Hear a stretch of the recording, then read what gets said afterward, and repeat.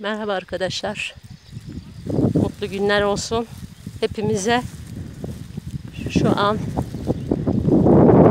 komşularımız başka köyden komşularımız gelmiş. Yemlik topluyorlar. Annem de yemlik topluyor şu an. Pardon madımak. Benim kıymetli eşim de topluyor. Hem de nasıl topluyor. Alışmış ki. Maşallah. Çok bereketli tarlamız. Her yer madımak dolu. Madımak çorbası yapıyoruz ara sıra. Çok leziz, güzel oluyor.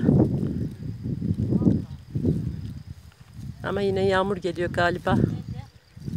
Havada kararmış. Beydağ'ın karları da bir türlü erimedi. Çok sakin bir güzellik. Mis gibi çiçek kokuları, ağaç kokuları, ot kokuları. Gerçekten güzel. Ayrı bir güzellik var buralarda. Orada bir abi de tarlada tarlada çalışıyor. Tarla e, buğday ekiyor galiba. Motorunu oraya bırakmış. Gerçekten güzel bir sakinlik. Hava yine kararıyor ama yine yağacak sanırım.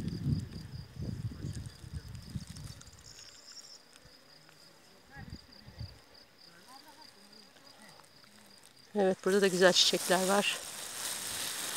Bakın. Çiçeğin güzelliklerine bakın. Ne kadar harika. Bakın. Madımak dediğimiz bunlar. Bunlar madımak. Bunları topluyoruz böyle. Genelde bıçakla kesiliyor da böyle kenardan. Ama biz alışmışız ya tırnağımızla böyle bastırarak koparıyoruz. Bu şekilde. Götürüp çorba yapacağız. Doğanın lezzeti bir başka.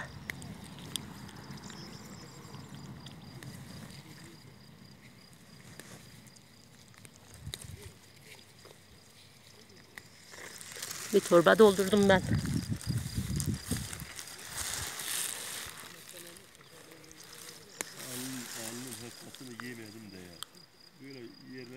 Bir şey olmaz. Kirleniyor baksana ya. Şey oluyor.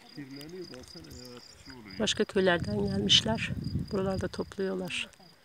Madımak topluyorlar. Girit köyünün içinde madımak bayağı var.